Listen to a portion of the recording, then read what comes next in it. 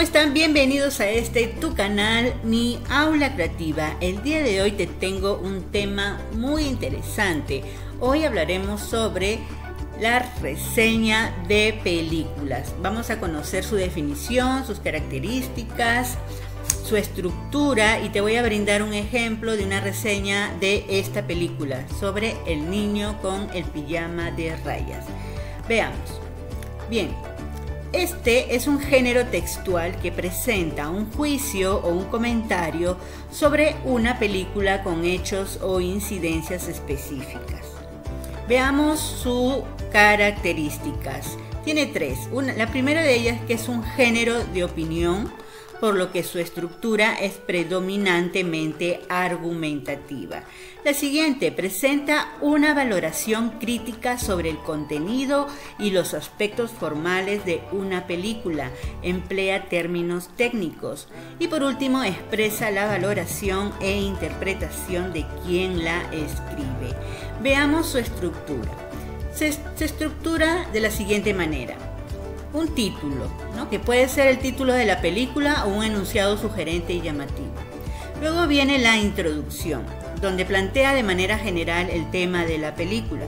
Luego tenemos el desarrollo, donde se comenta el argumento de la película, así como la actuación de personajes, escenografías y efectos, entre otros aspectos, con pruebas. Y por último tenemos el cierre, donde expresa un juicio valorativo y un comentario final que motiva a ver la película. Aquí tenemos una reseña de la película El niño de pijama de rayas, donde pues ya nos muestra el título y aquí te muestro también ya la introducción.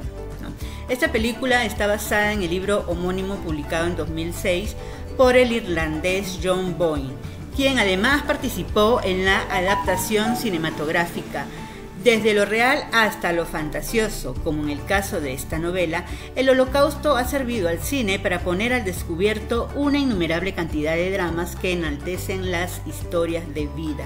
Esta película da mayor énfasis narrativo a las experiencias de las víctimas más pequeñas, por eso es valiosa la mirada que ofrece de este evento histórico, pues reconoce que tales víctimas existen también en el bando nazi, que suele ser visto como el único culpable. Ahora te presento el desarrollo. Es más, esta película muestra una historia agridulce, dulce como sus personajes centrales.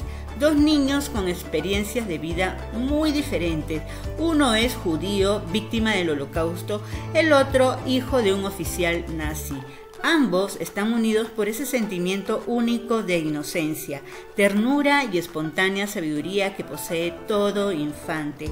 La película es amarga por el contexto histórico tan difícil en el que se ven envueltos estos dos pequeños, quienes durante sus varios encuentros intentan descubrir entre juegos y adivinanzas la realidad que los rodea.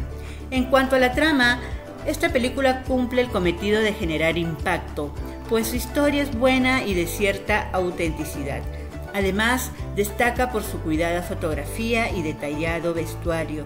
El desenlace viene anticipado por los fenómenos atmosféricos gracias a un tópico literario que se conoce como locus terribilis. Las imágenes de lluvia advierten que algo va a ocurrir. Este desenlace nos propone una reflexión. No somos conscientes del sufrimiento del otro hasta que nos convertimos en el otro.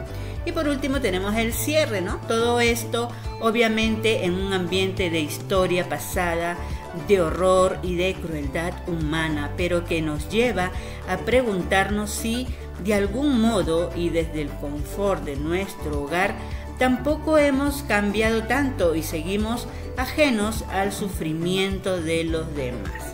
Bien chicos, ahora veamos algunas preguntas y sus respuestas. ¿Cuál es el tema de la película? Pues ya sabemos que es el tema eh, sobre la amistad. ¿no?